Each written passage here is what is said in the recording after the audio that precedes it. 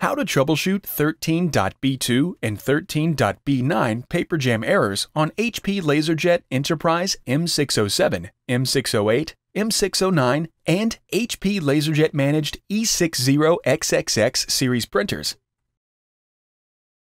Fix a paper jam in the rear door or fuser area when the printer stops feeding pages while printing and the printer control panel displays a 13.B2 or 13.B9 error message. Remove the input tray from the printer. If present, remove the protective orange plastic shipping tray locks from the tray. Pull any jammed paper straight out of the printer.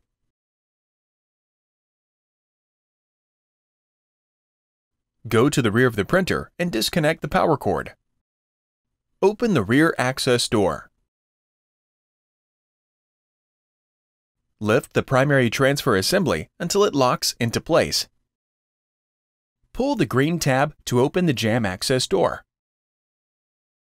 Pull any jammed paper straight out of the printer. Locate the Tray 2 feed and separation rollers.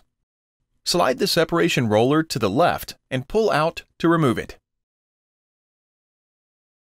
Pull the locking tab down and slide the feed roller to the left to remove it from the printer. To clean the separation roller, gather a lint-free cloth and distilled or bottled water.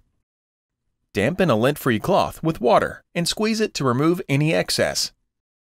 Clean the rollers with the lint-free cloth to remove any buildup or debris. Rotate the rollers as you finish cleaning a section to clean the entire roller.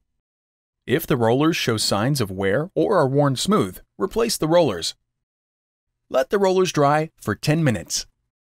Using the imprinted arrows to align the roller to the chassis, reinstall the rollers. Make sure that the rollers are installed correctly and are secure against the right side of the roller shaft.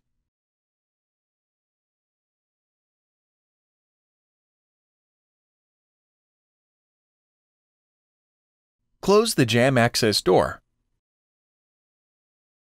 Lower the primary transfer assembly. Use the two blue tabs to remove the fuser from the printer. The fuser might be hot. Wait for the fuser to cool before handling it. Remove any jammed paper from the fuser area. Reinstall the fuser and then close the rear access door. Reconnect the power cord, and the printer turns on automatically. If it does not, turn on the printer. Reinstall the input tray. If necessary, load paper into the tray without exceeding the maximum fill line. Adjust any paper width and length guides to rest on the edge of the stack. Close the input tray and then try to print a document again.